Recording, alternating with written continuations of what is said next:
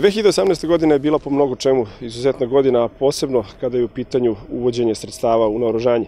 2018. godine uveli smo 29 novih sistema naoružanja, a pre toga rekordna godina je bila 2009. kada smo uveli samo 8.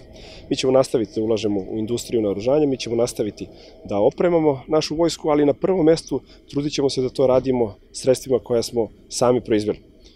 Za razliku od vremena kada je ovom zemljom vladao DOS i kada je vojska planski i namerno e, uništavana, kada smo imali e, četiri MiGa 29, od koga je, su tri bila predviđena da lete, a četvrti je služio samo da se sa njega skidaju rezervni delovi.